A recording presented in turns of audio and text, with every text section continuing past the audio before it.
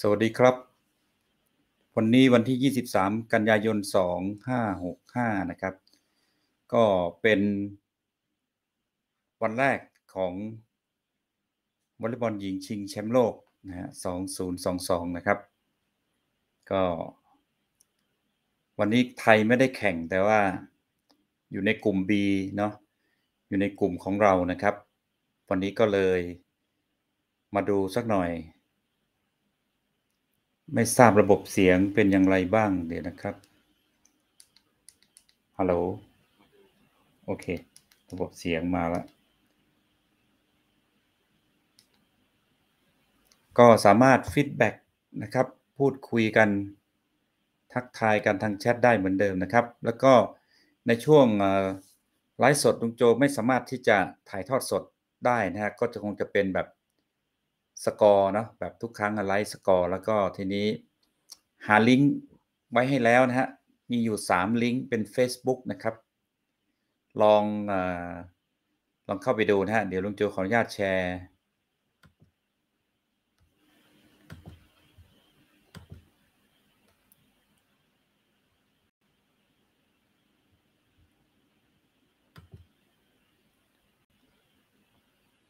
ลุงโจได้เขียนไว้ในคำอธิบาย ใต้คลิปนะฮะ มีอยู่สามลิงก์นะฮะเนี่ยลองลองลองเข้าไปดูนะฮะ ลองกดแล้วก็วางดูเมื่อกี้ลุงโจ ลองเข้าไปดูมันจะขึ้นมาแบบนี้นะฮะ ประมาณนี้ อีกประมาณ 20 นาทีโปแลนด์โครเอเชียนะครับ นี่ก็อีกลิงก์หนึ่ง นะครับ ก็ ไม่ทราบว่าภาพและเสียงมันจะเป็นอะไรยังไง อย่างว่าเนาะเราดูฟรีเราไม่ได้เสียตังค์ก็อันนี้ก็เอาลิงก์มาวางไว้ให้ประมาณ 3 ลิงก์นะครับ ในระหว่างนี้ก็มาพูดคุยกันแล้วก็แลกเปลี่ยนข้อมูลกันนะครับ เพราะว่า 2 คู่นี้อย่างโปแลนด์นี่เราพอจะ พอจะนั่นอยู่เพราะเราเคยประมือกันมาแล้ว แต่โครเอเชียนี่ เป็นทีมเพิ่งมาจากอ่า Challenger นะครับ เราไปที่อันดับโลกก่อนนะฮะ ของทั้งสองทีม อันดับโลกล่าสุดวันนี้เองนะครับ โปแลนด์นะอยู่อันดับ 13 ของโลก ไทยเรา14เนาะส่วนโครเอเชีย อันดับที่20นะครับ อันดับนี้ก็ชื่อชั้น และที่สำคัญคือโครเอเชียเนี่ยเพิ่งจะได้รับสิทธิ์เข้ามาเล่นใน VNL คือปีหน้านะครับ อันนี้คืออันดับโลกล่าสุด ความได้เปรียบเสียเปรียบเราเห็นกันอยู่แล้ว แล้วที่สำคัญก็ โปแลนด์ก็เป็นเจ้าภาพกับเนเธอร์แลนด์เนาะโอเคอันนี้คืออันดับโลกนะครับ ทีนี้เรามาดู ทั้งสองทีม ผลงานเป็นอะไรยังไงกันบ้างนะครับ เจอกันมากี่ครั้งแล้วก็ทั้งสองทีมผลงาน จะขอเช็คเสียงอีกทีผลงานเรียกได้ว่า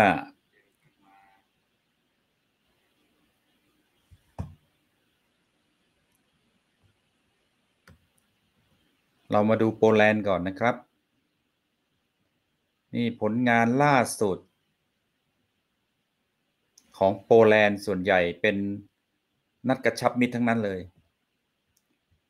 นี่เฟนลี่ Friendly International Women World Women World ก็คือเป็นการแบบมาไม่ใช่เป็นรายการในถ้าเป็น VNL นี่มันเดี๋ยวต้องดูมากกว่านี้เดี๋ยวนะ เพราะว่าช่วงนี้มันจะมีรายการอาหารเนี่ยตอน VNL 5เกมหลังสุด VNL นี่โปแลนด์แพ้อิตาลี1ต่อ3แพ้จีน 0 ต่อ 3 แพ้โดมิโดมินิกันก็สามต่อสองก็โดมินิกันก็อยู่ในกลุ่มเดียวกับเรา แพ้ให้กับบัลแกเรียหนึ่งต่อสามแต่ทีนี้ห้าเกมล่าสุดในนัดกับนัดกระชับมิตรนะครับ ก็เริ่มตั้งแต่สองกันยาเนี่ยเขาก็ชนะโปแลนด์ชนะบัลแกเรียมาสามต่อศูนย์แข่งกันสองวันนะฮะ ชนะทั้งสองวันเลยวันที่สองกับวันที่สาม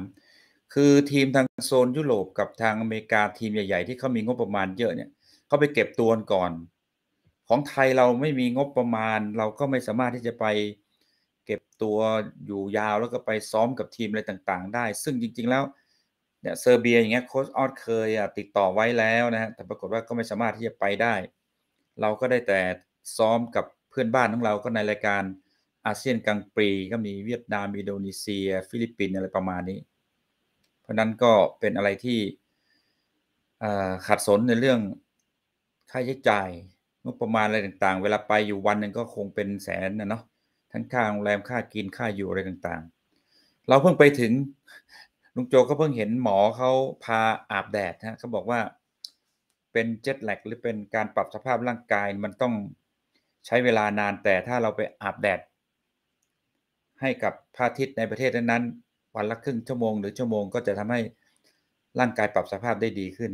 นั่งน่าหนัดใจเหมือนกัน ทีมชาติไทยเราแหมงบประมาณ ไม่ได้จัดสรรไว้สำหรับตรงนี้ อันนี้ก็เป็นผลงานในนัดกระชับมิตรนะ คือโปแลนด์เขาก็เจอทีม โอ้อย่างตุรกีอย่างเงี้ย หรืออิตาลีเนี่ยที่เป็นแชมป์นะเซอร์เบียนี่ก็เป็นแชมป์โลก คือเขาวนวนกันอยู่ในอ่าสี่ประมาณสี่ทีมเนี่ยเขากระชับมิตรกัน ตุรกีชนะหมดเลย ตุรกีชนะทั้งเซอร์เบียซึ่งเป็นแชมป์โลกครั้งที่แล้ว แล้วก็อิตาลีที่เป็นแชมป์ VNL นะครับก็โปแลนด์ก็ถือว่าในกลุ่มเนี้ย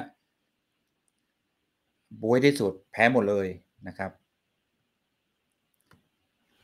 ทีนี้เรามาดู รเอเชียบ้างนะครับ โครเอเชียนี่ก็อยู่ในกลุ่ม Challenger นะเพิ่งเพิ่งจะได้เข้ามา VNL นะครับ ก็เป็นอะไรที่แบบข้อมูลอะไรต่างๆ เราก็ไม่ค่อยที่จะมีแล้วก็คู่แข่งอะไรต่างๆเขาก็จะเป็นชื่อชั้นทีมต่างๆ ก็จะอันดับโลกก็จะไม่สูงมาก รายการที่เขาแข่งนี่เป็นรายการยูโรเปียน แชมเปี้ยนชิพนะฮะเอาดู 5 เกมนี้ก่อนนะ แล้วเดี๋ยวค่อยไล่ไปดู Challenger ครับ เขาชนะอิสราเอลมา 3-1 แล้วก็ชนะโรมาเนีย 3-1 แล้วก็แพ้โรมาเนียนี่ก็สลับนะ สิงหา ชนะ 3 กันยานี่ก็แพ้1ต่อ 3 ชนะอิสราเอล 3 ต่อ 2 ชนะ ฟาโรไอซ์แลนด์นะครับ3ต่อ0อันนี้คือยูโรเปียนคัพเนาะแต่ทีนี้มันมีข้อมูลสถิติอีกอันหนึ่งนะที่น่าสนใจก็คือ Challenger Cup นะฮะคือ Challenger Cup นี่ก็คือใน VNL ในทั้งหมด 16 ทีมเนี่ย ทีมไหนได้บวยสุดนะฮะเขาก็จะเหมือนว่าตกชั้น อย่างปีที่ผ่านมาเนี่ยเบนเยียมบวยสุด ก็ตกชั้นไป ก็ไปแข่งอของเขาเรียกว่า Challenger Cup นี่ก็จะเอาตัวแทนของที่เก่งๆของแต่ละแต่ละทวีปมีแค่แปดทีมนะ แล้วก็มีเจ้าภาพแล้วก็มีแชมป์เก่า อะไรประมาณอย่างเงี้ยนะฮะแล้วก็แข่งกันแค่สามวัน ปรากฏว่าสามวันนะโคเอเชีเป็นเจ้าภาพนะโคเอเชียชนะสามวันแบบว่าแพ้คัดออกเลย มันมีแปดทีม พ้คัดออกเหมือน 8 ทีมใน VNL นะ แต่ว่าอันนี้เป็นเป็น 8 ทีมของ Challenger ครับ เพื่อคัดแค่ทีมเดียว ไปแทนเบลเยียมที่จะเข้าไปเล่นอยู่ใน VNL นะครับ ก็เคอโคเอเชียก็ชนะทุกทีมแล้วก็ชนะเบลเยียมด้วยนะครับ ในวันสุดท้ายตอนชนะเบลเยียมนี่ลองดูลองดูสกอร์นะเบลเยียมนี่เขาจะมีชื่อชั้นนี่สูงกว่านะฮะ สามหนึ่งเนี่ยเขาชนะยี่ห้าต่อยี่สิบเซตที่สองแพ้ยี่สิบเอ็ดยี่ห้ายี่ห้ายี่สองยี่ห้ายี่สิบเอ็ดก็เรียกได้ว่างานนี้บอทเขาแบกทีมเนาะบอทนี่แบกทีมให้กับเบลเยียมน้ำตาตกเลยนะฮะเบลเยียมเป็นชื่อชั้นที่ดีกว่า แต่ว่าเขามีนักกีฬาเก่งเนี่ยคือเฮอร์บิทบอทนี่แหละ คนเดียวเนี่ยที่แบบแบกทั้งทีม มันก็เลยเป็นอะไรที่น่าสงสารเหมือนกันนะ ในวีนแอลเนี่ยเขาทำคะแนนได้สูงที่สุดนะ บอทของเบนเยียมนะฮะ นี่ก็ประมาณนี้ ทีนี้ทั้งสองทีมเคยเจอกันไหมอ่าลองมาดูสองทีมนี้เคยเจอกันแต่นานมากนะซึ่งนักกีฬามันเปลี่ยนไปหมดแล้ว อันนี้เป็นแค่เชิงสถิติเนาะก็เราก็ลองดูกันไปเป็นข้อมูลว่า ตั้งแต่เจอกันมาเนี่ยตั้งแต่ปี05เนี่ยโอ้โหมันตั้งแต่หลายปีเนี่ยโปแลนด์ชนะนะโปแลนด์ชนะ แล้วก็อันนี้นัดกระชับมิตรเรียนนิดหนึ่งว่าทำไมชนะ4-1เวลากระชับมิตรเนี่ยเขาเล่นกัน5เกมเนี่ยนะ ก็อาจจะชนะ5-0ก็ได้ คือ5เกมเนี่ยแล้วแต่เนาะเราเคยเห็นแต่ในเกมการแข่งขันเช่น ชนะ3-1หรืออะไรมันก็แบบจบไปแล้วอะไรต่าง ๆ แต่ถ้าเป็นนัดกระชับมิตรเขาจะบอกเลยว่า5เกม แล้วก็โปแลนด์ก็ชนะไป 4 เกมโครเอเชียก็ 1 อันนี้คือ friendly international นะฮะ แล้วก็ World Grand Prix อันนี้ก็คือชิงแชมป์โลกเมื่อปี 17 นะฮะ โครเอเชียเคยเข้าไปครั้งหนึ่ง แต่ก็แพ้โปแลนด์ สรุปก็คือแบบถ้าเทียบกันสองทีมนี้ก็ชื่อชั้นวันนี้โปแลนด์ก็ถือว่าเป็นเต็งเลยฮะ โครเอเชียก็เป็นเหมือนน้องใหม่ เพิ่งชื่อชั้นเพิ่งกำลังดีวันดีคืนอะไรประมาณนี้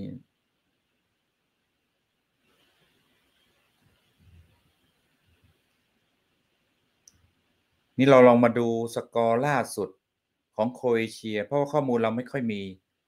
โครเอเชียเท่าไหร่ เราลองดูว่าตอนที่เขาแข่งเนี่ยสามศูนย์มันชนะแบบชนะยังไงนะโหชนะขาดเลย Faroe Islands ดูดูเขาชนะนะฮะเหมือนกับสมัยก่อนทีมชาติไทยเราแข่งกับจีน แข่งกับญี่ปุ่น เราจะประมาณอย่างเงี้ย เราจะแพ้แบบอย่างเงี้ย แล้วก็ปี 2009นั่นแหละที่เราไปชนะคาซัคสถานชนะญี่ปุ่น แล้วก็ไปชนะจีนได้แชมป์เอเชียปี 2009นะนี่คืออาการของของทีมที่แบบเพิ่งเพิ่งนั่นเข้ามานะอ่าอันนี้เป็นล่าสุด อันนี้อาจจะเป็นทีมเล็กๆเอาลองดูที่ กับอิสราเอลเป็นไงโครเอเชียชนะ3ต่อ2ก็สู้กันมันอยู่ฮะ สูสีนะฮะ อันนี้ถึงดิวเลย แต่ก็เป็นทีมที่แบบ ชื่อชั้นก็เรียกได้ว่าแบบยังอยู่ในอันดับที่ต่ำกว่าโปแลนด์เพราะโปแลนด์เขา ซ้อมกับทีมที่อยู่ในอันดับโลกสูงๆเนาะแต่อันนี้ก็เป็นที่เขาชนะใน European Cup นี่มันก็เป็นทีมที่แบบ ยังไม่ได้เป็นทีมที่อยู่ใน top ของ World Ranking เนาะก็ประมาณนี้นะสำหรับ ทั้งสองทีมอ่าทีนี้เรามาดูของ โปแลนด์นะ โปแลนด์นี่มันพอจะมีข้อมูลตั้งแต่สมัย VNL ซึ่ง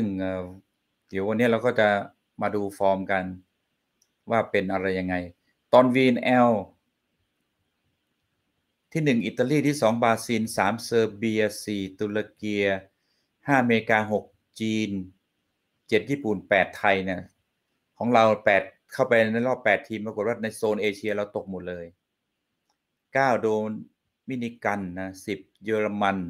11เนเธอร์แลนด์12แคนาดา13โปแลนด์อยู่ในอันดับที่13ใน VNL นะครับ บังกาเรีย14เบนเยียม15เกาหลี16ทำไมเกาหลีเป็นอันดับสุดท้ายแล้วไม่ตกชั้น เนื่องจากว่าเกาหลีเนี่ยอยู่ใน 12 ทีมที่เป็นมือวางรวมกับกับประเทศไทยด้วยนะฮะ ไทยเราถ้าแพ้หมดเหมือนเกาหลีเราก็ยังสามารถ เล่น VNL ได้อยู่เพราะว่าเราเป็นมือวาง เราเล่นมาตั้งแต่สมัยเวิร์กลางปีนะฮะก็จะมีอยู่ 12 ทีม เพราะนั้นอีก 4 ทีมก็จะอ่าเรียกได้ว่าสี่ทีมก็คือเนี่ยอย่างเบนเยียมเนี่ยอยู่ในสี่ทีมที่เป็น Challenger ก็ถือว่าบวยสุด พอบวยสุดปุ๊บ ก็ตกชั้นไป ก็ไปแข่งกันใน Challenger ครับที่เรียนเมื่อกี้นะแปดทีม และโคเอเชียเป็นเจ้าภาพ ปรากฏว่าโคเอเชียก็ สามวันเนี่ยโครเอเชียชนะหมดเลยโครเอเชียก็จะมาแทนเบนเยียมสำหรับ VNL ปีหน้า ครั้งต่อไปนะครับเบนเยียมก็ตกชั้นไป ทั้งๆทที่อันดับโลกเขาสูงนะ ทีนี้โปแลนด์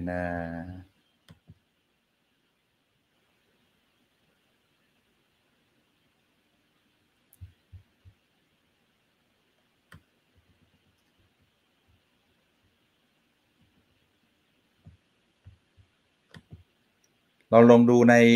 VNL นะว่าโปแลนด์มีคนไหนบ้างที่พอทำสกอร์ได้สูงสูงเนี่ยฮะเบลเยียมที่ลุงโจเรียกเมื่อกี้นะเฮอร์บอทบิดอ่าลุงโจเรียกผิด เรียกเป็นบอทบอทจริงๆเขาคือเฮอร์บอทต้องเรียกว่าบิดอ่าเฮอร์บอทบิดอย่างนั้นเนี่ยโคกะเนี่ยโจตอนแรกไปอ่านเป็นโคจาเฮอร์บอทบิดนะเบนเยี่ยม ทำคะแนนได้สูงมากนะ แต่ปรากฏว่าทีมตกชั้น VNL ไปอยู่ใน Challenger ครับ เพื่อให้โอกาสแก้ตัวเข้ามาใน VNL อีกก็แพ้อีกแพ้กับโครเชียเจ้าภาพ แต่ก็ยังว่าประเทศเจ้าภาพเนาะวันนั้นก็เป็นอะไรที่มันมีทั้งเสียงเชียร์และอะไรต่างๆ เป็นใจอะนะ ลองดูสิเอ่อมันจะมีเฉพาะโปแลนด์นะ เพราะว่า โครเอเชียมันยังไม่ได้เข้ามาอยู่ใน VNL นะนี่คือข้อมูล VNL ล่าสุด โปแลนด์อ่ามีนี่ฮะหมายหมายเลขสามสิบโอลิเวียนะฮะทำสกอร์ได้ร้อยสามสิบเก้านะครับ โอลิเวียนี่หน้าตาเป็นอะไรยังไง อ่า เดี๋ยว คนนี้นะฮะ โอลิเวียตำแหน่งเอาไซฮิตเตอร์ก็คือหัวเสาหรือบีหลังนะ อายุ 25 ปี สูง 185 หนัก 74 คะแนนเฉลี่ยต่อครั้งเนี่ย แต้มจะประมาณ 14.08 14.08 นะ ทุกครั้งลงก็ได้ประมาณ 14 แต้ม efficiency 35.92 average point 12.33 แต้มมาจากการบล็อกด้วยมาจากการเสิร์ฟมาจากบล็อก 19 มาจากการเสิร์ฟ 2 มาจากการโจมตี 148 หมายถึงว่า 169 นี้นะครับ มาจากแอตแทก148 มาจากบล็อกบล็อกดีด้วยนะบล็อกได้ 19 แต้มใน VNL นะเขาบล็อกได้ 19 แล้วก็มาจากการเสิร์ฟ 2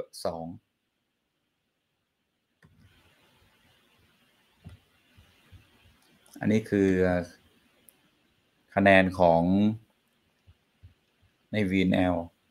ก็มีโปแลนด์นี่แค่คนเดียวนะ ที่ติดเข้ามา แต่ของเรานี่ อัชราพรคงยศนี่ได้ร้อยเจ็ดสิบแปดแต่จริงของเรานี่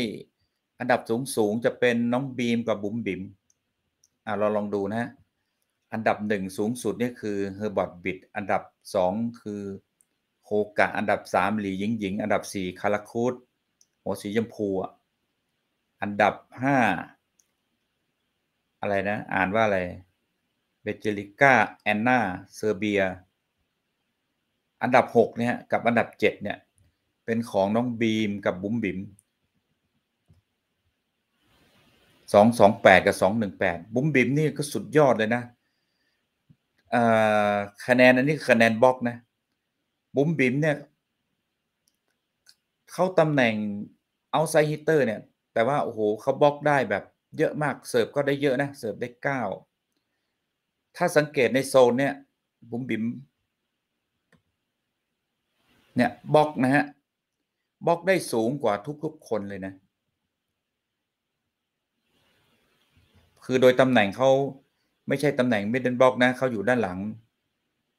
ส่วนใหญ่เขาอยู่ด้านหลังแต่เวลาวนเวียนกันขึ้นมามาอยู่ด้านหน้าเนี่ยเขาก็บาบล็อกได้นะ เสิร์ฟได้ ในทีมเราถ้ามีแบบบุ๋มบิ๋มีสักคนหนึ่งนี่จะโอ้โหเป็นอะไรที่แบบ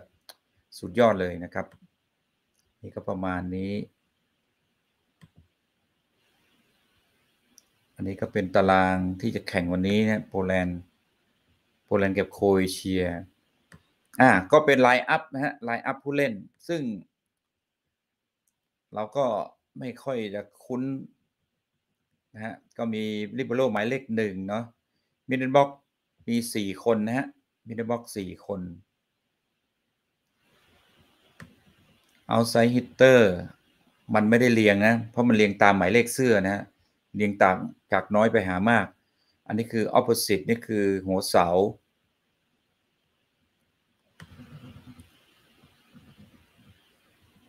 กัปตันทีม setter นะฮะโจนาโวโรสหรือเปล่าอ่าน ภาษาต่างประเทศอ่านยากเหมือน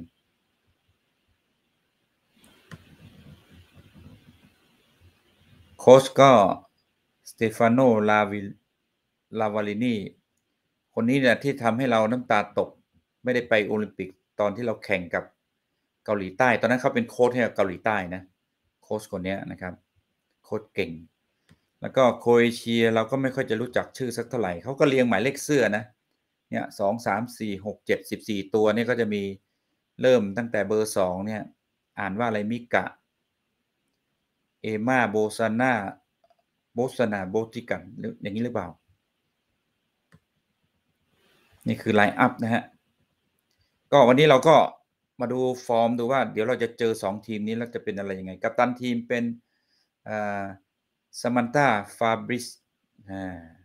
ตำแหน่งก็ opposite นะฮะ ก็คือหัวเสาบีหลัง ก็ประมาณนี้ตอนนี้ได้เวลาแล้ว ใน Facebook การถ่ายทอดมาหรือยังเหลืออีกหนึ่งนาที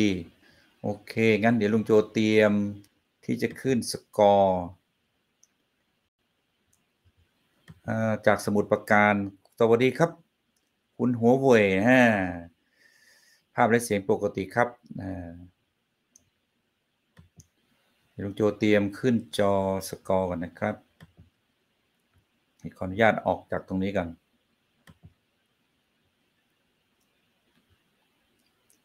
สกอร์ของโจจะเป็นสกอร์ real-time ซึ่งถ้าเราดูจาก Facebook จากลิงก์ที่วางไว้ทั้ง 3 ลิงก์ อาจจะช้า อ้าว เล่นแล้วฮะ ตอนนี้หนึ่งหนึ่งแล้วนะครับ เสมอกันหนึ่งหนึ่ง โอ้ นี่เล่น นี่มันเพิ่งยี่สามจุดศูนย์ศูนย์เขาเล่น อย่างว่านะเวลาเทียบเคียงกันตอนนี้เดี๋ยวลุงโจขออนุญาตแชร์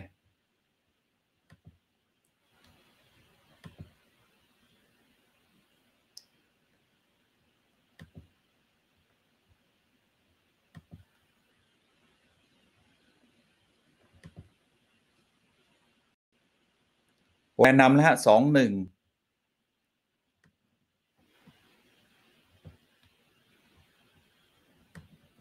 เดี๋ยวขออนุญาตไปที่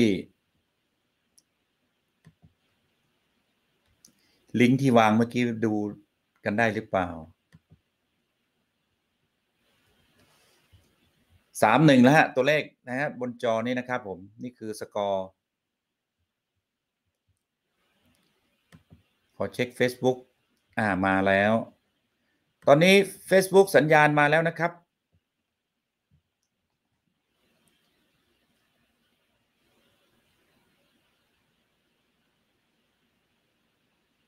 ลูกโจขอเช็คแป๊บหนึ่ง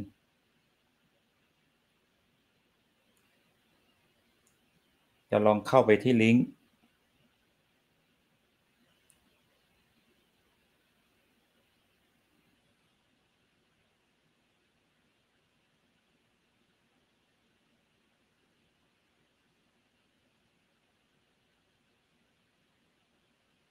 วันนี้โทร ศัพท์ผมความจำเต็มเป็นที่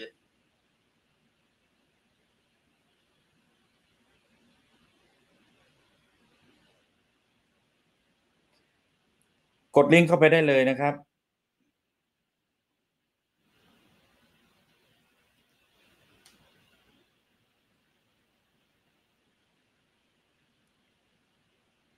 ลิงก์แรก ลิงก์แรกไม่มีเสียงเดี๋ยวนะ เพื่อนๆลองเข้าไปดูเนาะถ้าถ้าเราไม่ได้เสียตังค์นะ ถ้าเราเสียให้กับออของวอลเลย์บอลเวิลด์เนี่ยเขามีนะฮะเขาเรียกอะไร V VTB อะไรเนี่ย อะ มาละ เสียงมาแล้ว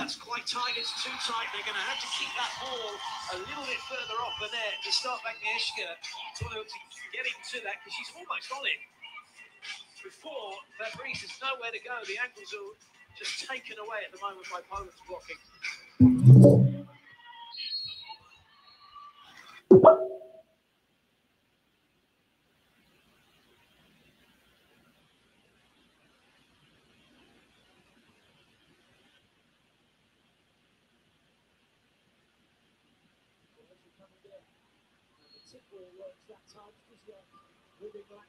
So she couldn't then step to go and play it, and it was too far away from Volosh, who was playing quite deep for position one. Have a look at 14. Starts up high, then she's moving backwards, and because she's still moving backwards, โปแลนด์นำอยู่หกสาม to get forward to play the tip. แต่ใน Facebook มันจะประมาณห้าสามแล้วก็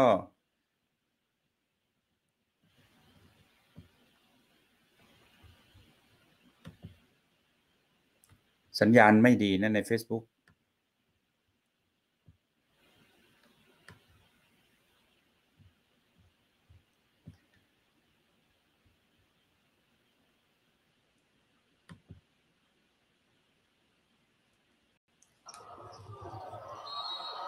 So she hasn't found the sideline. Just bringing her thumb down on that to cut it to the line, but she's overcut it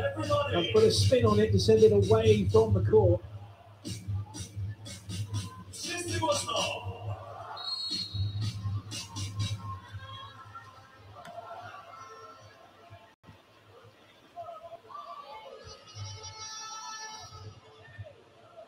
It's, uh, but it's a very good ball in. And Poland able to run their side out effectively.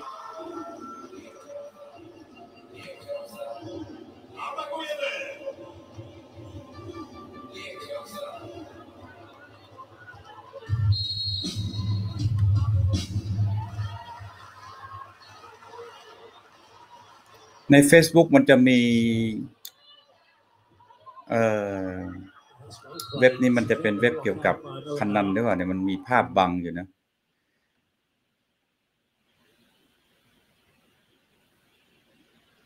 เสียงก็หายเดี๋ยว ลองหาลิงก์ใหม่เดี๋ยวนะฮะ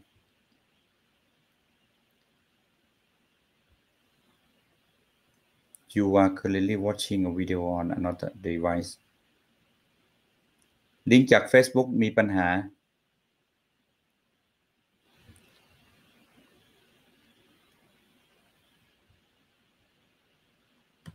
เดี๋ยวลุงโจเข้าไปที่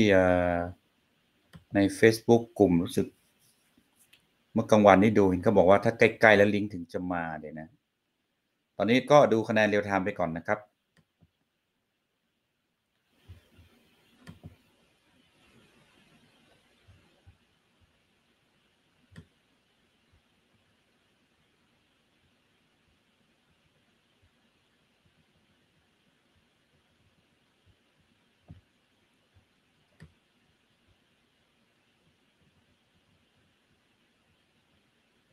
ใคร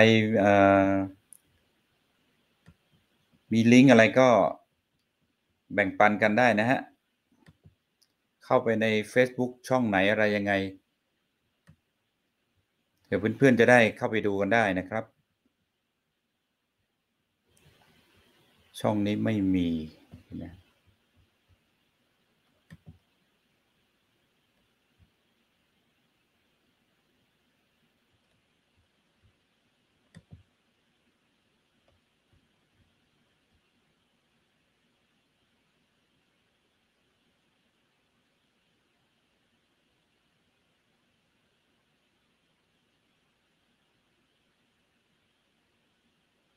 เดี๋ยวลองดูอีกลิงก์หนึ่ง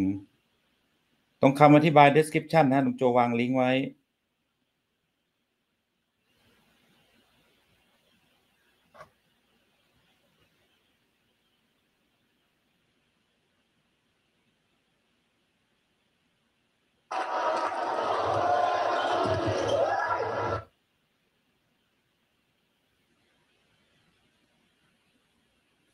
ขาดขาดให้หาย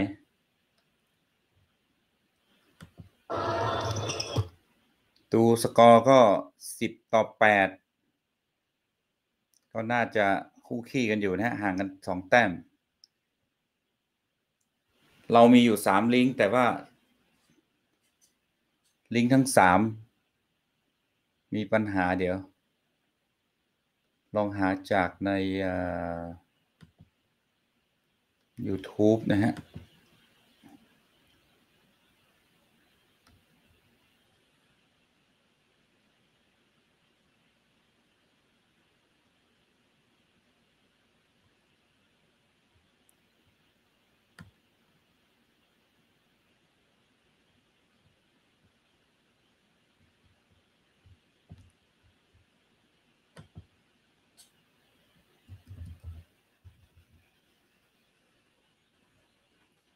แต่คู่ที่ใครของไทยแข่งนี่สบายใจได้เลยเนาะเพราะว่าเวิร์กพอยต์เขาถ่ายทอดให้พวกเราได้ชมกัน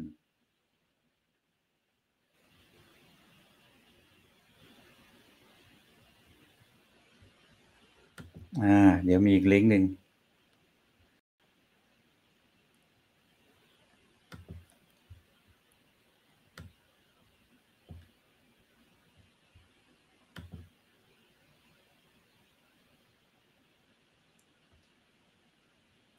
โอเค ลุงโจเจออีกลิงก์หนึ่งเดี๋ยวลุงโจจะแปะเข้าไปใน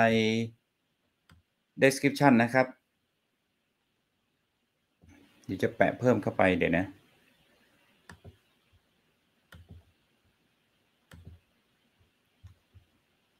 ลิงก์ที่สี่นะฮะ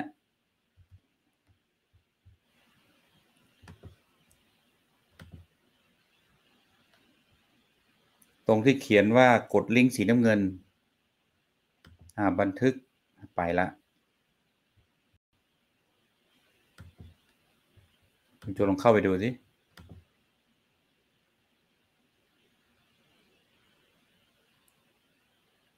โอ้โห ลิงก์จากประเทศจีน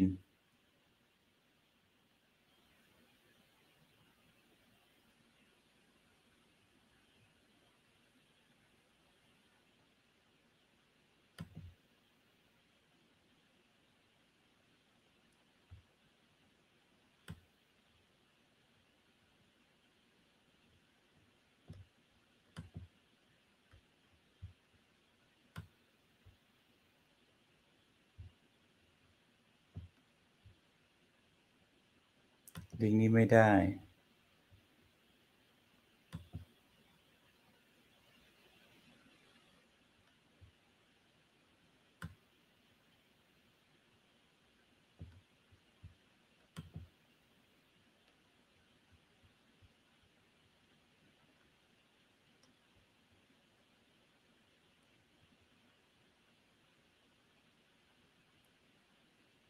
ก ดเข้าไปลิงก์จากจีนนะฮะลิงก์ที่สองถึงจะดูได้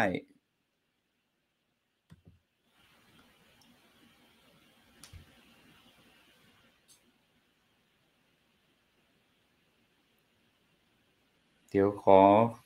ลองเข้าไปดู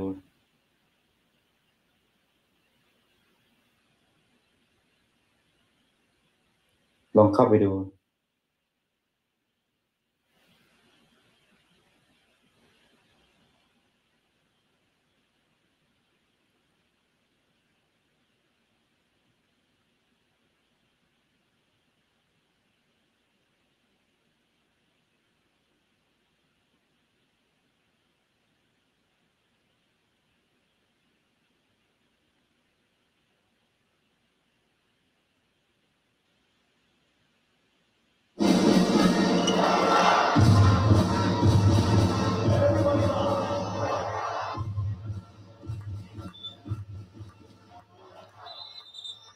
สิบสี่ต่อสิบ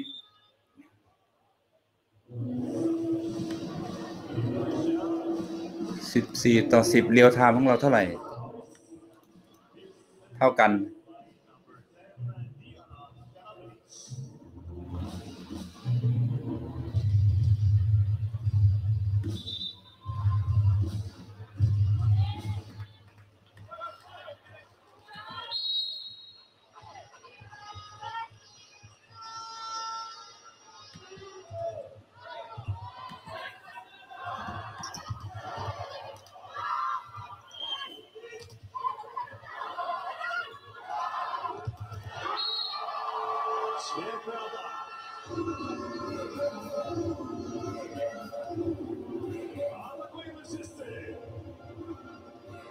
แลนด์นำเป็นสิบห้าต่อสิบโปแลนด์ใส่ชุดสีขาวเหมือนเดิมฮะ ขาวเกงแดง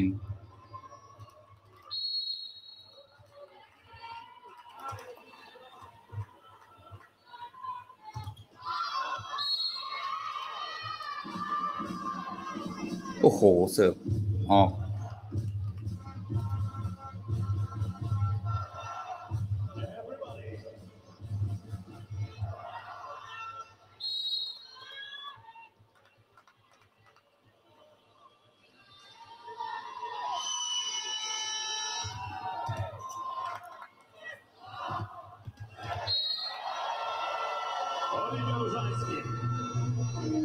เรียบร้อย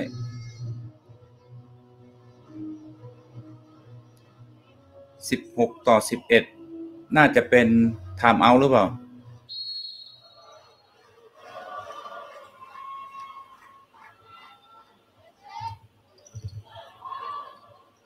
อ๋อ ต่อเลยนะฮะ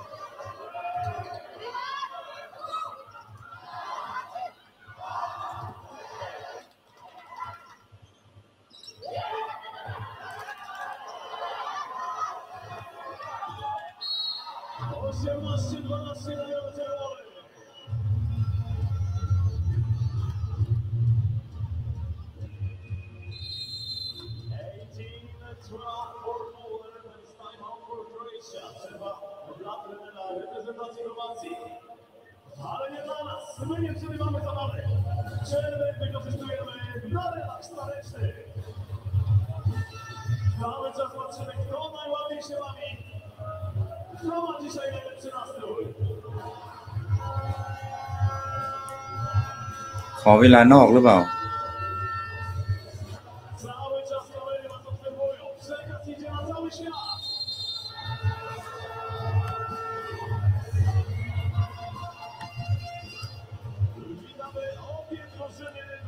สิบแปดต่อสิบสาม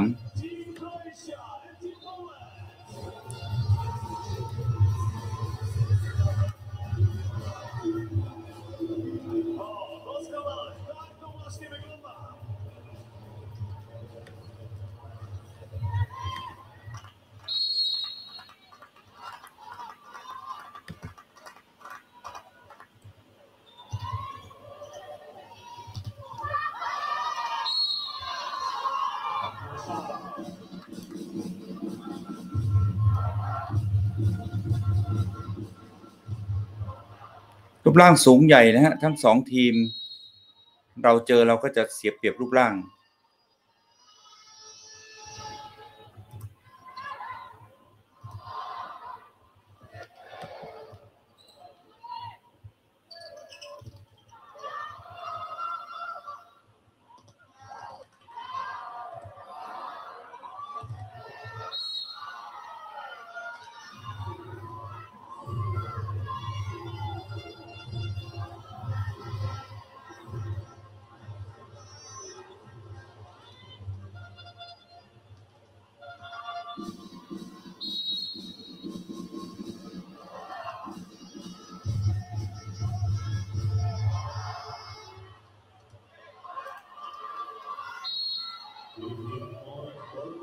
โอ้เสิร์ฟดีฮะ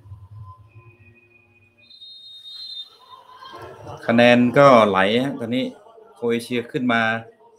เป็นสิบห้าต่อสิบแปดใกล้ขึ้นมาอีกหน่อย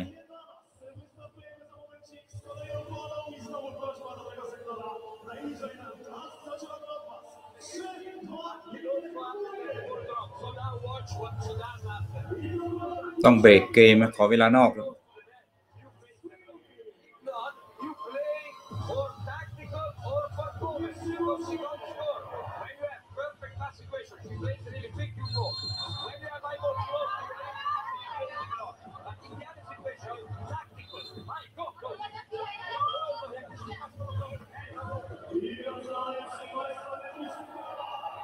ประมาทไม่ได้นะฮะโครเอเชีย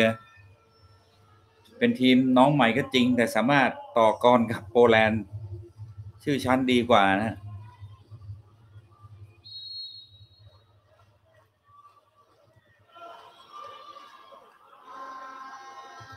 โครเอเชียเสิร์ฟ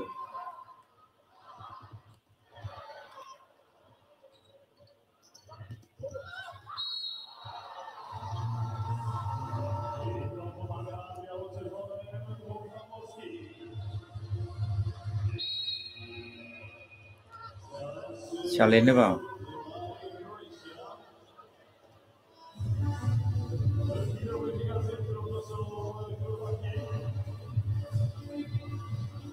ขอชาเลนจ์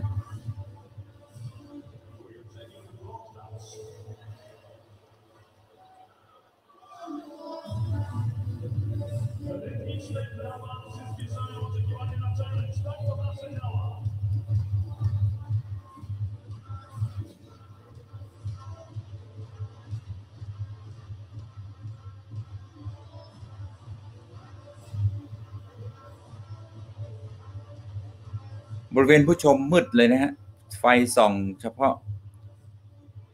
ตัวสนามนะ สนามนี้เป็นเดิมเป็นสนามฟุตบอลนะฮะ สนามฟุตบอล ก็ดัดแปลงเอามาเป็นสนามวอลเลย์บอล ได้สองสนามสามสนามฮะ ก็เป็นสนามจริงสองสนามสำหรับแข่งขัน อีกสนามหนึ่งไว้เป็นสำหรับสนามซ้อม ก็ no box touch นะฮะชาเลนจ์ไม่สำเร็จ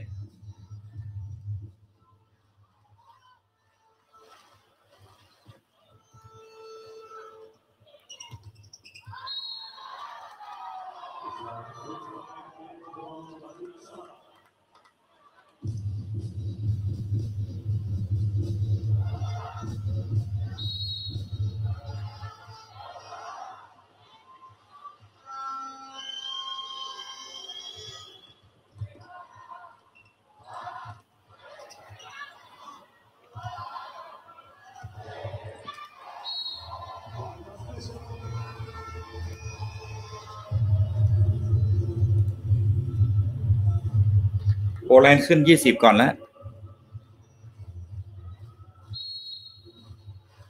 เซตนี้ก็มีโอกาส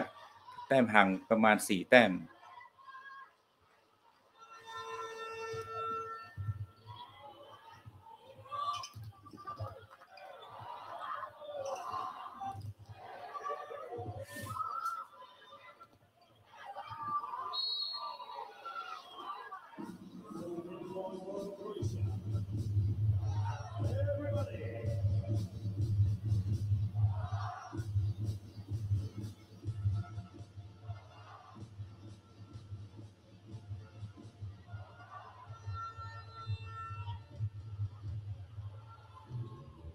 บอร์14โครเอเชียนี่สูงใหญ่นะ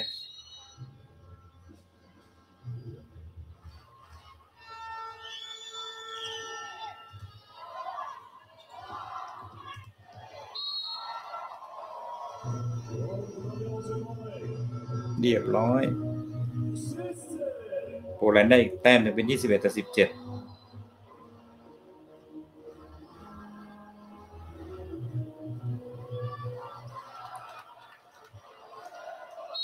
ก็อย่างว่านะแข่งในประเทศ โปแลนด์เจ้าภาพ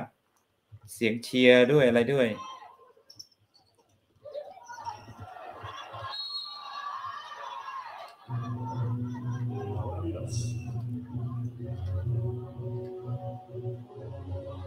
เอ๊ะแต่สนามนี้มันเป็นสนามที่โปแลนด์หรือเปล่า แต่ของเรานี่จะไปแข่งที่เนเธอร์แลนด์เนาะพรุ่งนี้ของเรา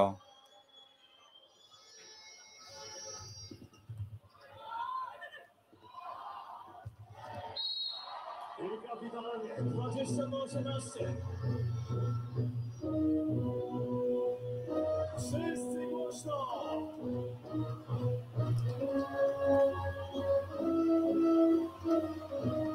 ยี่สิบสองต่อสิบแปดอีกสามแต้ม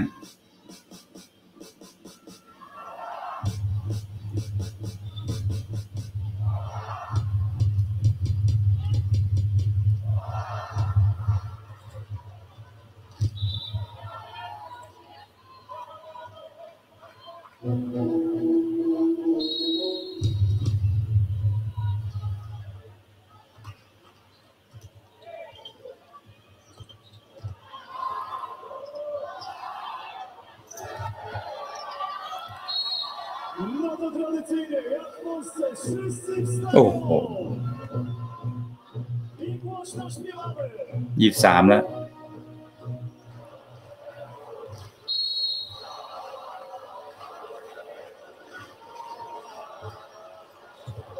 วอลเลย์บอลเนี่ยมันก็จะเป็นกีฬาที่อยู่ในแถบประเทศยุโรปด้านนี้นะฮะ โดยเฉพาะยิ่งอย่างโปแลนด์นี่ตั้งแต่เริ่ม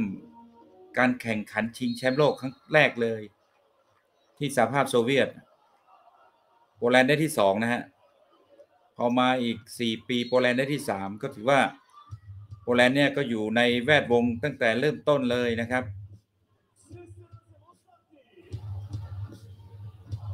ยี่สิบสี่ set point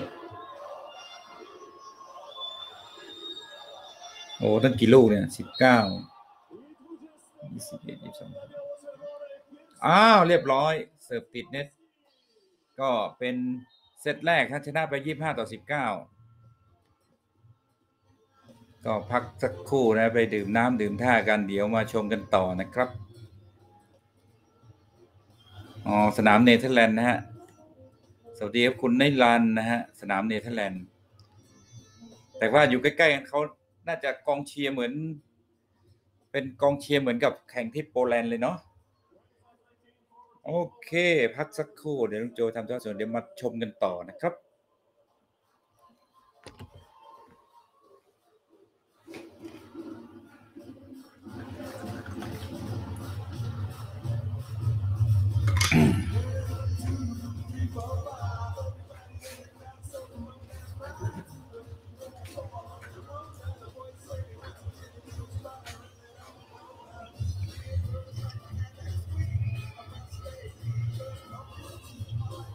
เดี๋ยว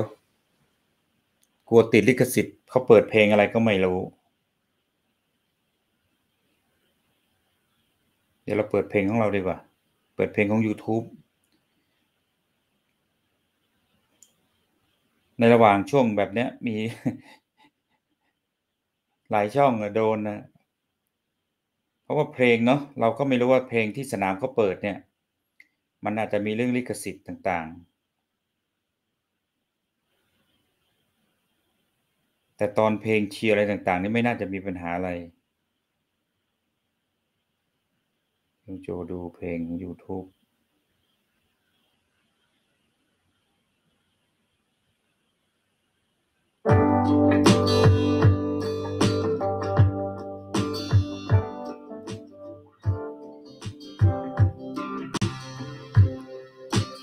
เดี๋ยวมาชมกันต่อ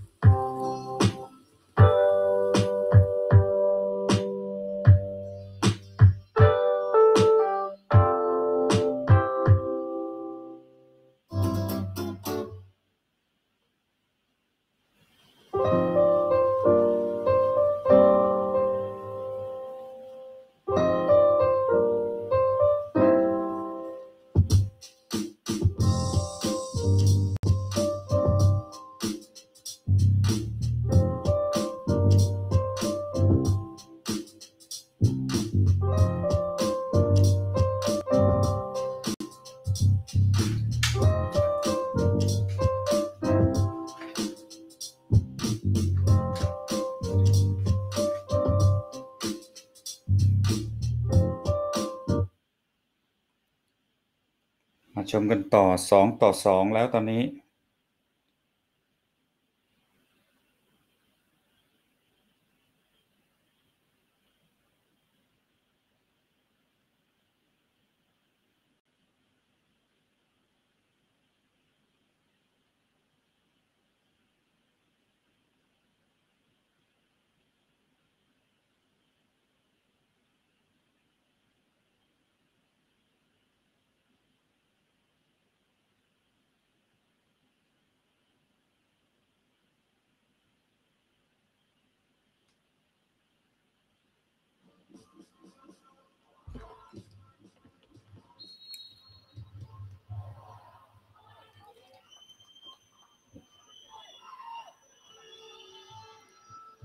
โอ้ตอนนี้โครเอเชียนำแล้วฮะ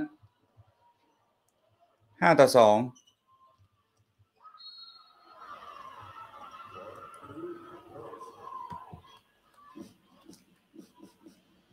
ในลิงก์ยังสี่ต่อสองบน real-time score ที่ลุงโจ ถ่ายทอดสดอยู่ตอนนี้นะฮะ จะเร็วกว่าสัญญาณภาพและเสียง เพราะว่าเขาใช้แค่แป้นคีย์เนาะ จะเร็วกว่าประมาณหนึ่งแต้มหนึ่งลูกหรือสองลูก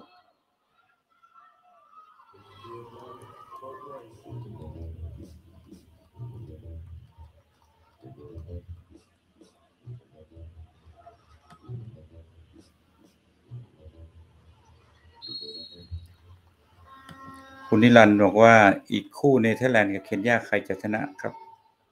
โอ้สองคู่นี่ไม่มีข้อมูลเลย แต่ถ้าพูดถึงชื่อชั้นนี่ ทางเนเธอร์แลนด์น่าจะนั่นกว่านะฮะ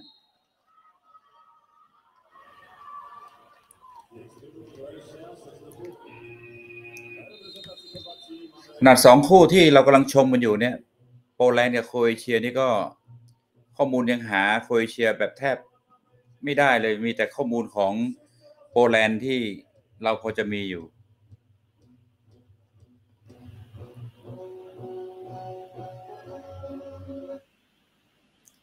สำหรับพรุ่งนี้ที่เราจะเจอกับตุรกีนะฮะลุงโจได้ทำคลิปสำหรับ 14 ผู้เล่น 14 ผู้เล่นของตุรกีนะฮะเราลุงโจก็ปล่อยคลิปไปแล้ว โดมินิกันด้วยนะฮะ แล้วก็ตอนนี้กำลังศึกษาสองคู่นี้ครับ ตอนนี้รายชื่อได้มาแล้วนะ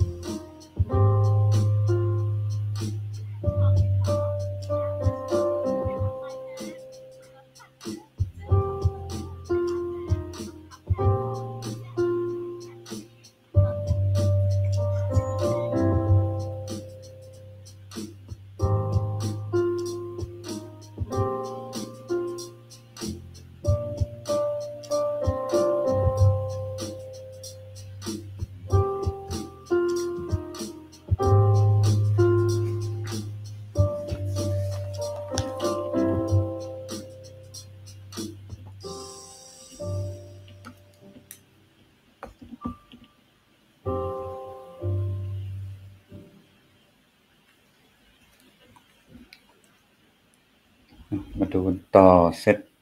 ที่สาม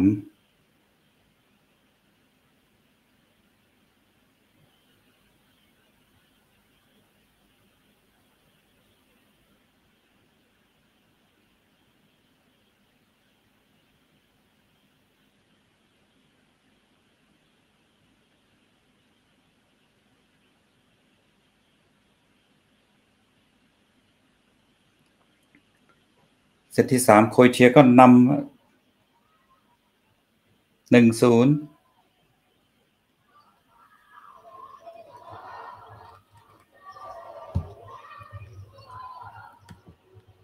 สวัสดีคุณเอ็นแบล็กแบล็กนะฮะบอกโครเชียไม่หมูนะครับ เอาโปแลนด์น่าเครียดเลยทั้งโค้ชและผู้เล่น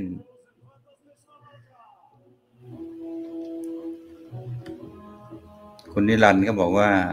โปแลนด์แผ่วปลาย ก็เล่นด้วยความ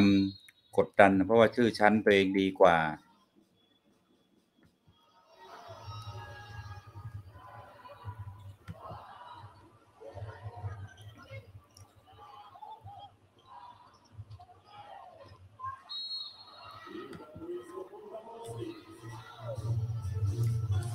เพราะใน Challenger เนี่ย เราคิดว่าเขาเป็นเจ้าภาพเนาะโครเอเชียเนี่ย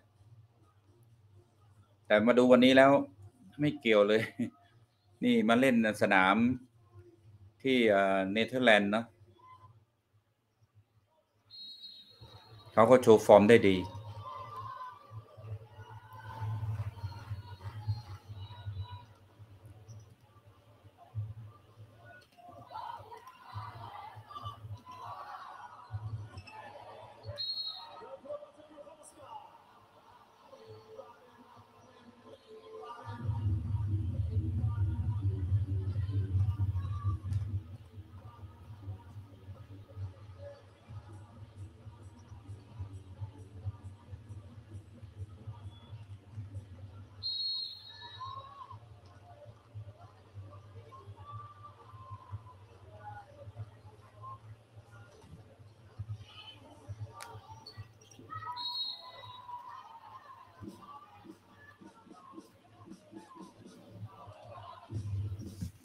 สว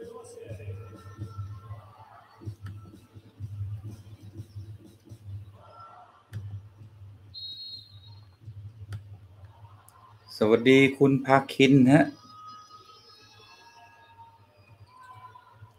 ดูอยู่ครับ แต่ไม่สนุกหวานเย็นฮะ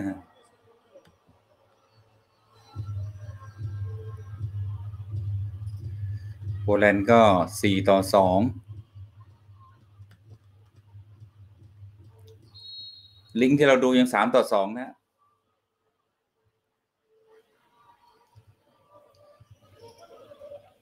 ก็จะสังเกตนะนักกีฬานี่ ทั้งสองทีม เวลาทำได้นี่ โอ้โหเขาแบบสะใจนะเขาแบบ ถ้ายิ่งเป็นตุรกีนี่ วากใส่กันเลย ไม่เหมือนทีมไทยนะทีมไทยนี่ยิ้มแย้มแบบ ยิ้มสยามนะก็เป็นเสน่ห์นะตีเสียตีออกก็ยิ้ม จนบางทีเอ๊ะฝั่งตรงข้ามก็งงว่าเอ๊ะก็ตีเสียนะทำไมยังยิ้มอะไรประมาณนี้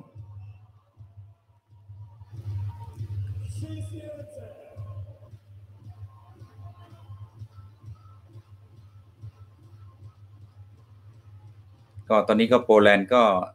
หน้าตาสดชื่นขึ้นหน่อยเพราะนำละ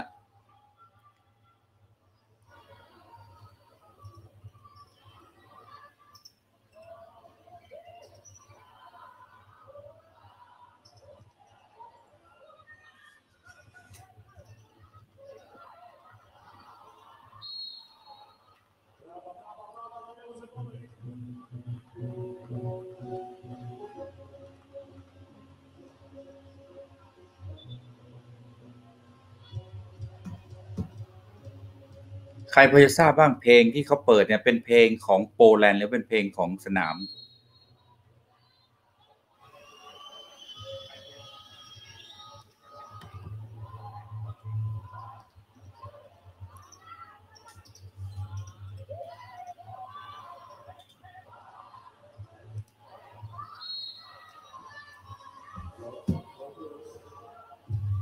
โอ้ ไม่แน่เสร็จแล้ว โคเอเชียไล่มาแล้ว สี่ต่อห้า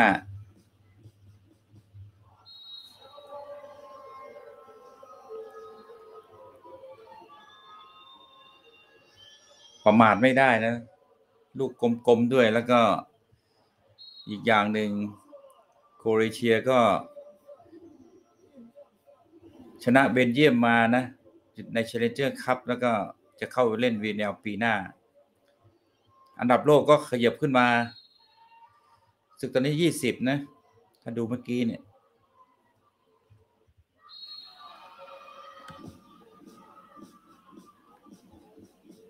ใช่ อันดับโลก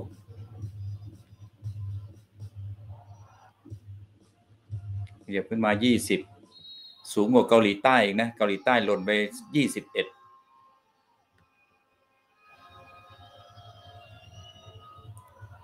ประมาณไม่ได้ก็ทีมไทยเราเขาที่แล้วก่อนวีเนลเราสิบเก้าไง ตอนนี้โครเอเชียยี่สิบแล้วถ้าโครเอเชียตอนนี้นะ ชนะ ทีมที่มีแรงกิ้งสูงสูงโดยเฉพาะโปรแลนด์ในอันดับสิบสามเนี่ย ถ้าเขาชนะเนี่ยอันดับโลกเขาก็จะขึ้นไวเพราะเขาจะได้แต้มแต้มเยอะชนะทีทีมแรงกิ้งสูงกว่า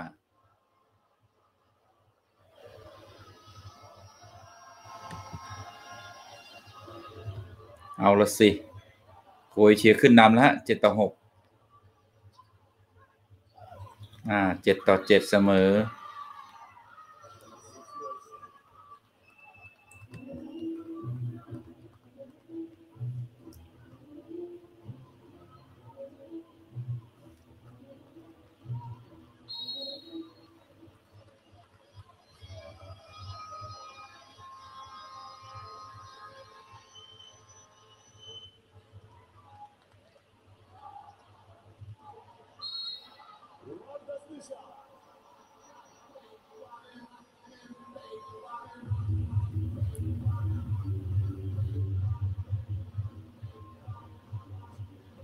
ข้อสังเกตที่แตกต่างจาก VNL ก็เห็นว่าเวลา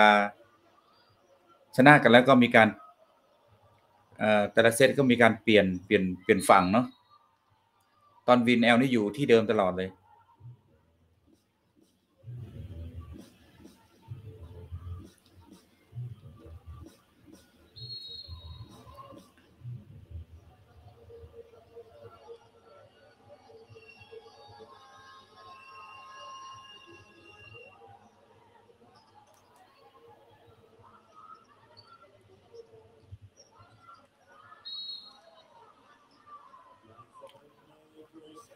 เออทำเอาอีก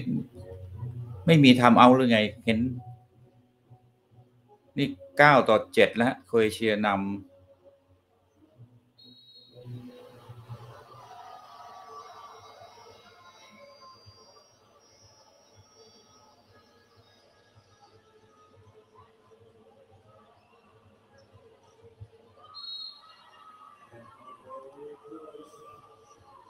อ้าว ไปกันใหญ่แล้วโครเอเชียนำไปสามแต้ม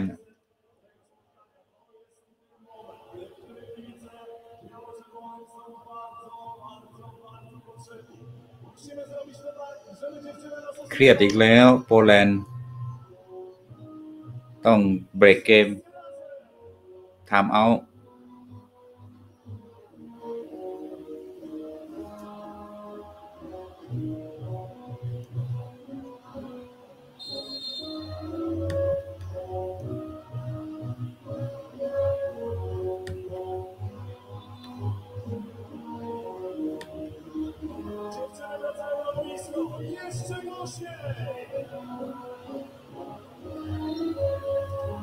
คุณนิรันด์บอกโครเอเชียชนะแน่นะฮะ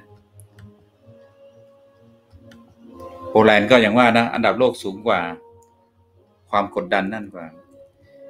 ใครทราบบ้างเพลงที่เปิดเนี่ยเป็นเป็นเพลงของโครเอเชียหรือเปล่าเพราะเห็นกองเชียร์ร้องตามด้วยนะ เอ้ยของโปแลนด์หรือเปล่าโอ้สิบสองต่อสิบสองต่อเจ็ดนะ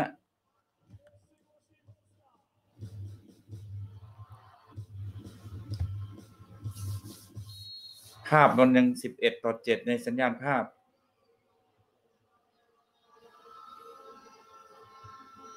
เสิร์ฟลงด้วย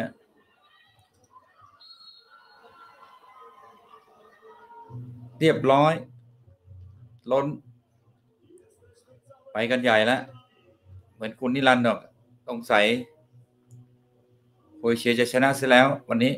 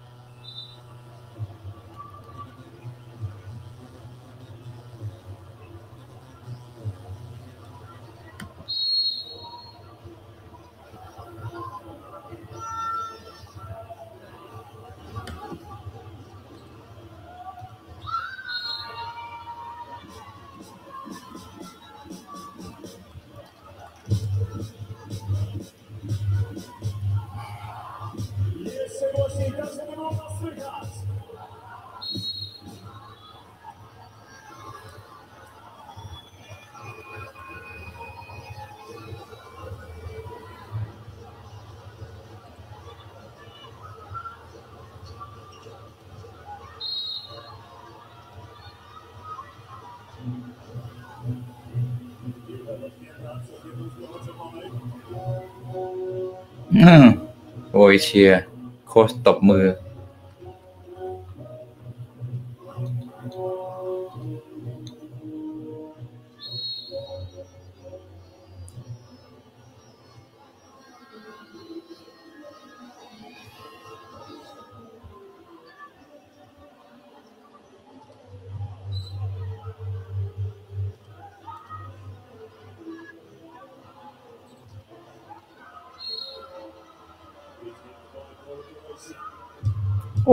ติดบล็อกอีก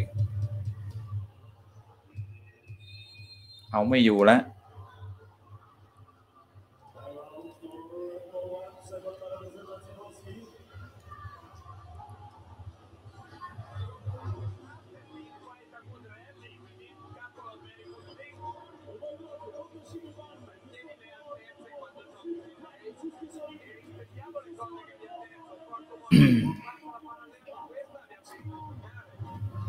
เครียดนะฮะโปแลนด์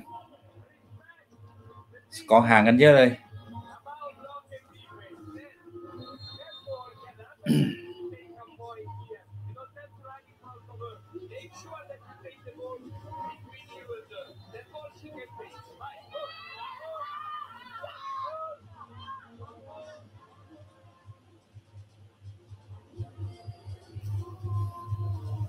คุณนิรันต์บอกยาวแล้ว ซตสองชนะเท่าไหร่ไม่ทราบ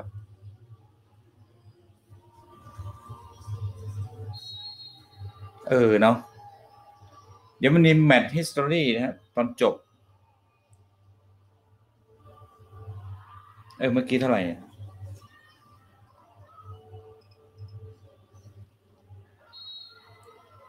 แต่ไม่ได้ไม่ได้ห่างกันเยอะเพราะว่า โปแลนด์ขึ้นมา 20 เหมือนกัน โปแลนด์ตามตลอดนะเมื่อกี้นะ น่าจะห่างกันสักสามแต้มได้ไงเพราะตอนแรกโครเอเชียขึ้น20ก่อนเนาะแล้วก็ไล่มาเรื่อยๆ22ต่อ20หรือเท่าไหร่แล้วเสร็จแล้วโครเอเชียก็ได้มา ติดๆน่าจะห่างกันสักสามแต้มนะถ้าจำไม่ผิดนะแต่ตอนนี้สิ โครเอเชียวโหหยุดไม่อยู่แล้วเนี่ย ได้ใจอะ เป็นใจหมดเลย เร็วเลยนะคะแนนขึ้นปุ๊บปุ๊บแหมชมไม่ได้เลยเสียเลยตีติดเน็ต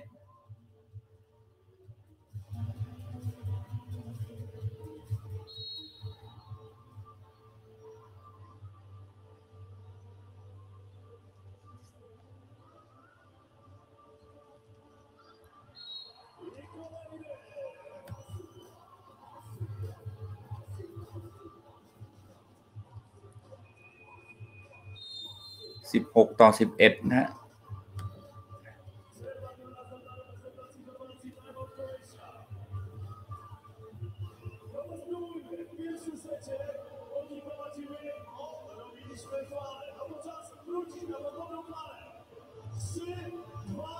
โครเอเชียร์ขอเวลานอกเหรอ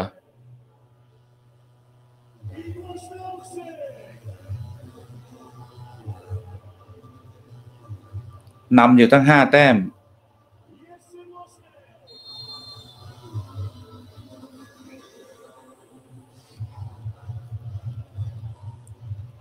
อ๊ะเท่าที่ดูนี่เราไม่เห็นเทคนิค t ท m เอาเนาะในวอลเลย์บอล World Championship เนี่ย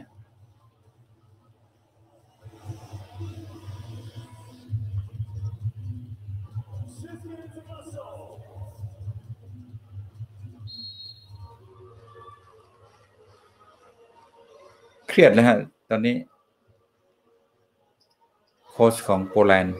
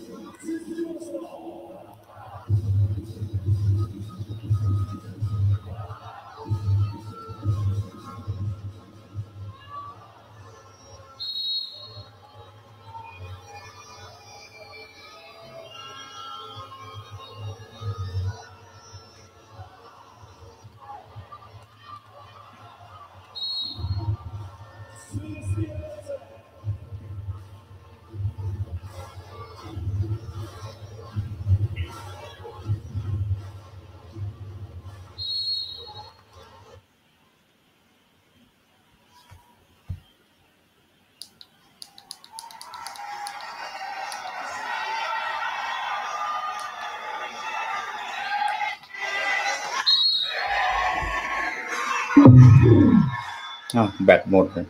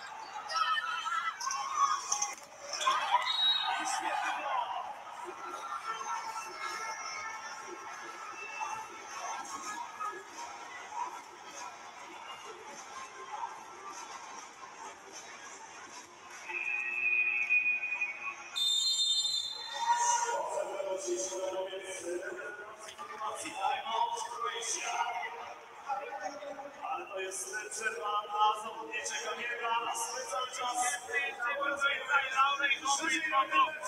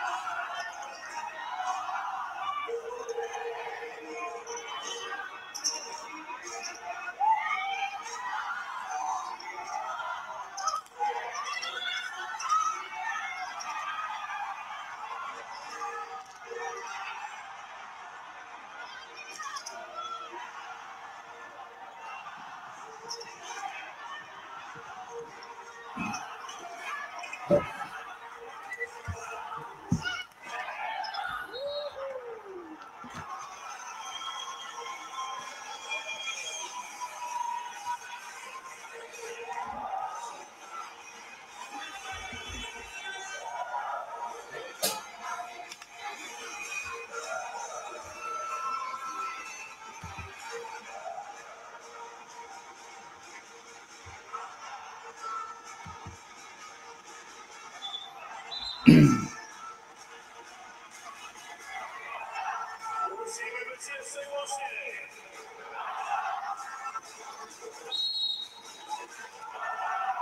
บแปดยี่สิบใกล้ขึ้นมาอีกนิด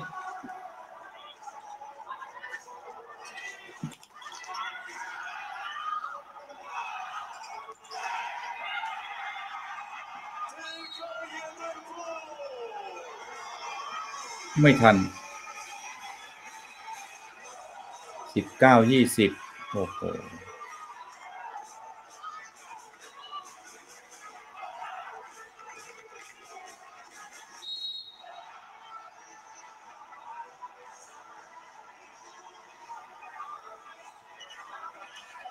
โปแลนด์กลับมาแล้ว ตีเสมอได้ไหมเอ่ย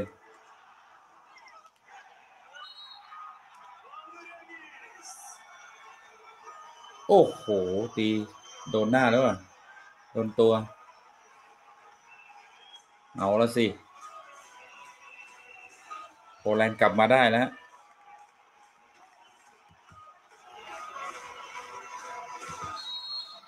เรียวไทม์โปแลนด์นำแล้วฮะยี่สิบเอ็ดต่อยี่สิบแล้ว โอ้โหคู่ขี้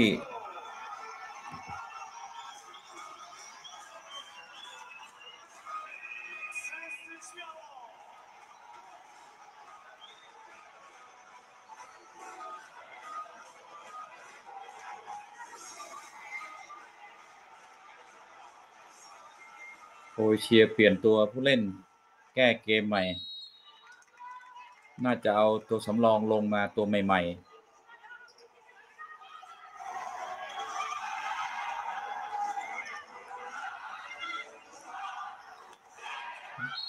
Wszyscy wstają. โอ้โห ยังไม่อยู่ฮะ สกอร์ไหลนะ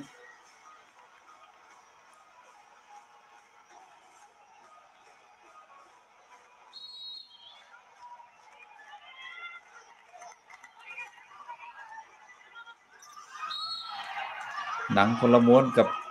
ช่วงต้นเกมเลย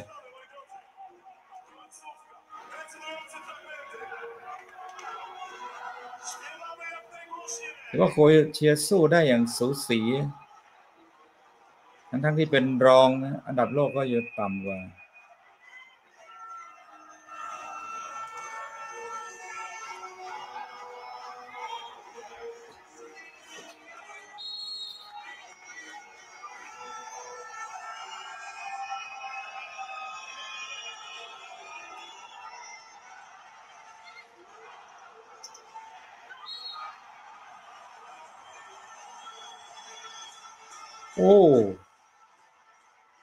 อกอีก ไปกันใหญ่แล้ว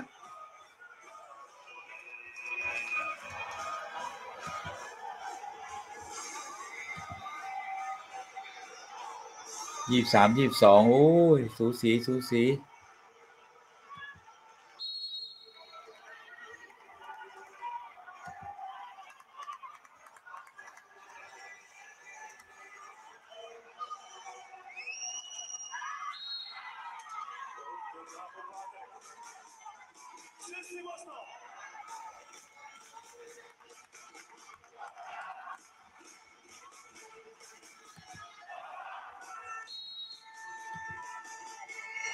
ยี่สามเท่ากัน โอ้โห สุดมันแล้วยี่สามต่อยี่สาม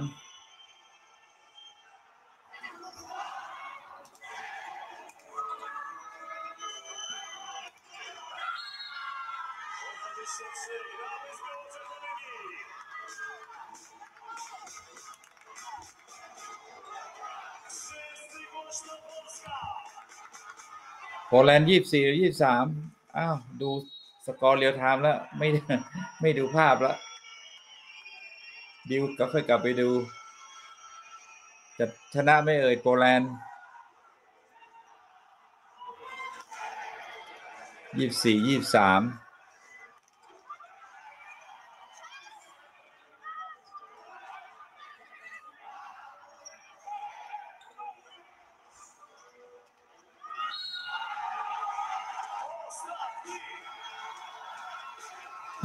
ชนะไปแล้ว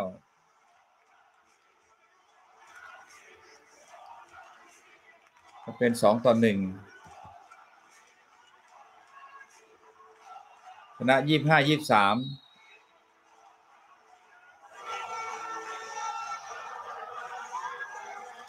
ตีบิดข้อมือมากไปตีเสียเองฮะโครเอเชีย อ้าวล้นเรียบร้อย ได้ง่าย ๆ แบบนี้เองสองแต้มติด พักสักครู่ เดี๋ยวมาชมกันต่อ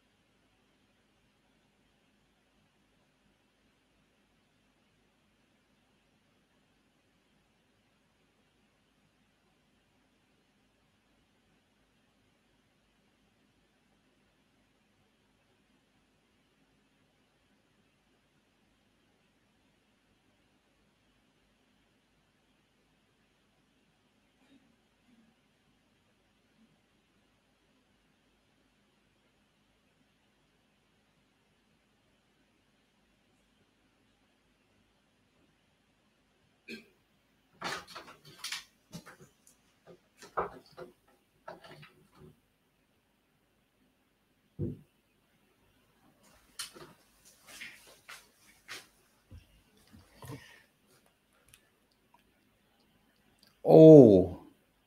โคยเชียนำอีกแล้วเจ็ดต่อห้า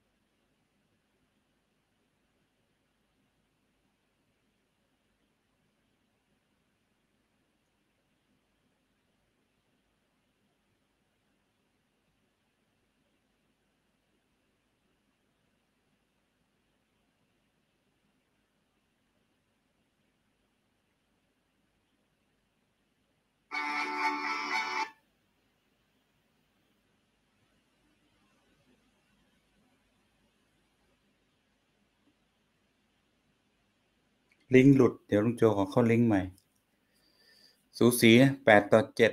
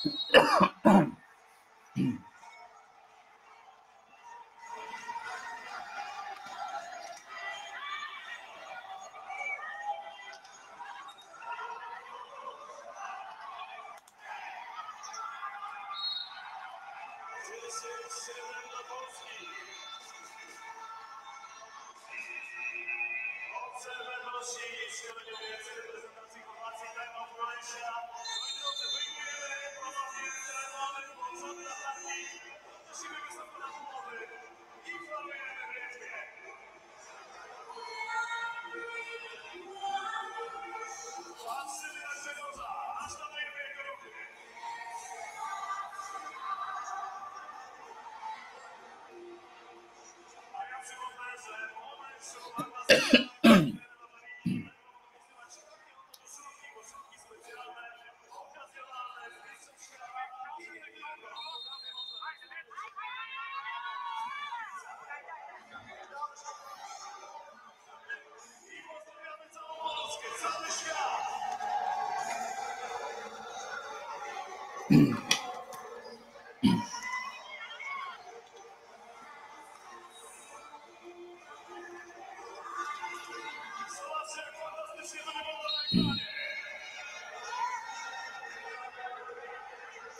โอ้โห สกอร์ดูสิโปแลนด์ทำได้หกเจ็ดแปดเก้าสิบห้าแต้มติดเลยเขาเรียกว่าลัลลี่คะแนน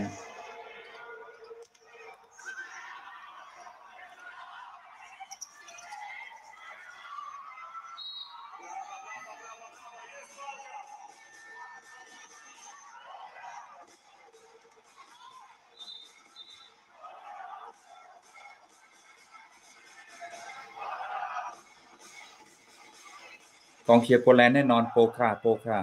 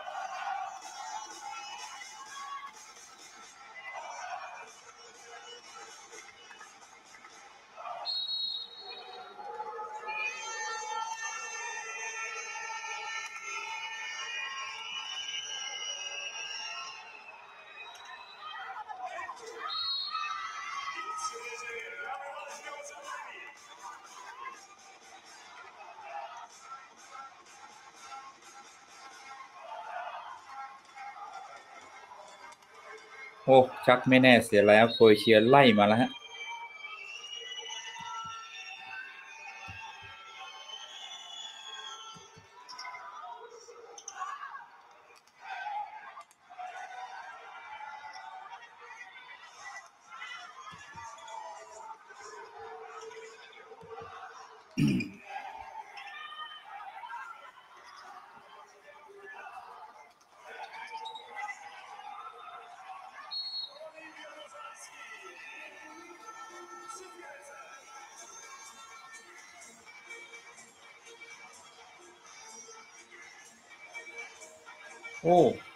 ตกหนักเลย เสียงฝนเข้ามาในนี้หรือเปล่า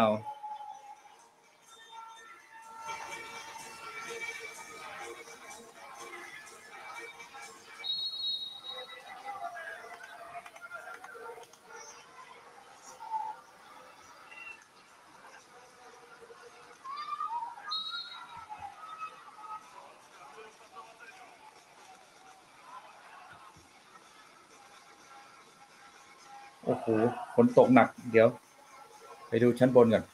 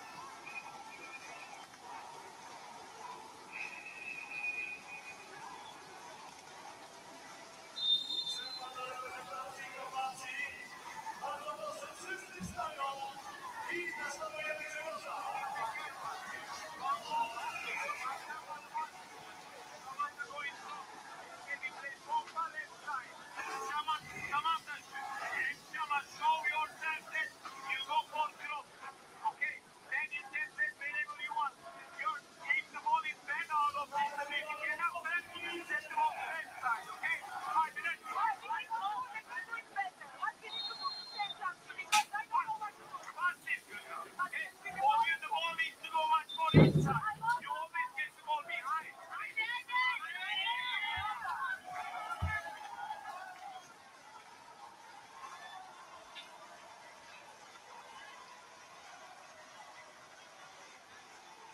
บห้าต่อสิบสองเลย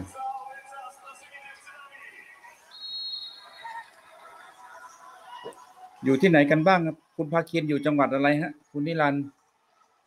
โอ้โหเมื่อเช้าที่เชียงใหม่ฝนตก หนักเพิ่งแห้งเลย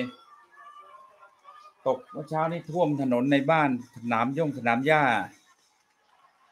พอน้ำแห้งมีปลา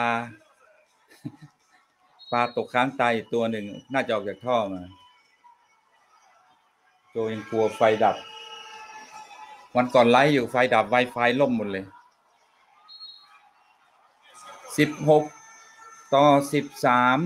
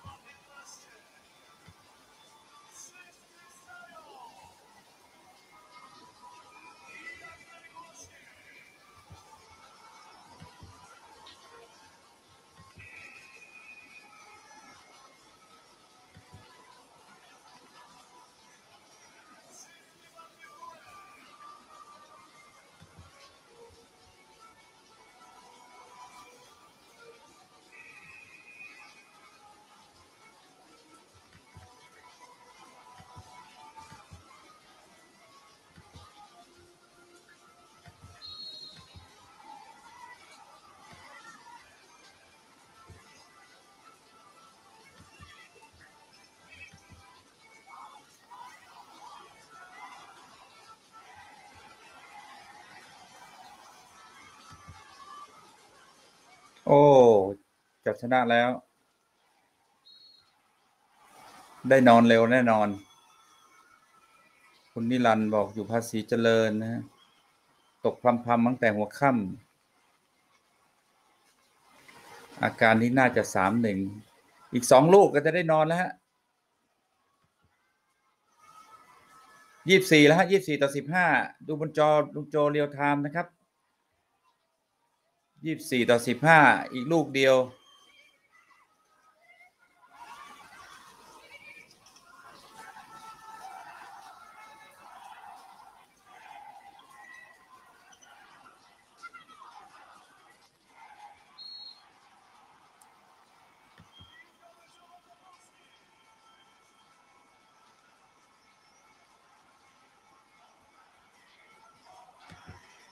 เรียบร้อยแล้วฮะชนะไปเรียบร้อยแล้ว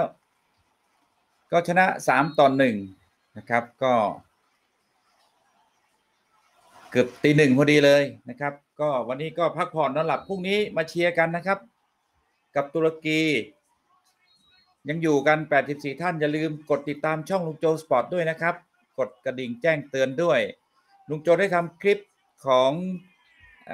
อตุรกีนะฮะ 14 ผู้เล่นตุรกีนะครับผม แล้วก็ของโดมินิกันก็ได้ทำเรียบร้อยแล้ว เดี๋ยวพรุ่งนี้ถ้ามีเวลาอาจจะทำของเกาหลีใต้ เกาหลีใต้ยังทำได้ครึ่งเดียวอยู่นะที่ปล่อยไปแล้วมี 2 คลิปนะยังไงก็อย่าลืมให้กำลังใจช่องลุงโจนะฮะด้วยการกด subscribe นะฮะแล้วก็กดกระดิ่งแจ้งเตือนด้วยนะครับอ่าคุณนิรันดร์บอกอย่างนี้เจอไทยสบายสบายก็ขนาดโปแลนด์เนาะ เรานำอยู่2เซตที่ฟิลิปปินส์เราเกือบจะชนะน้องบีม ถ้าจำไม่ผิดน่าจะคู่นี้แหละ น้องบีมบาดเจ็บซะก่อนนะฮะน้องบีมบาดเจ็บก็ปรากฏว่าเราไม่น่าจะแพ้ แต่เราก็แพ้ไปสองต่อสามโอเค วันนี้ลุงโจก็ขอกล่าวคำว่าสวัสดีราตรีสวัสดิ์พรุ่งนี้พบกันนะครับ สวัสดีครับ บ๊ายบาย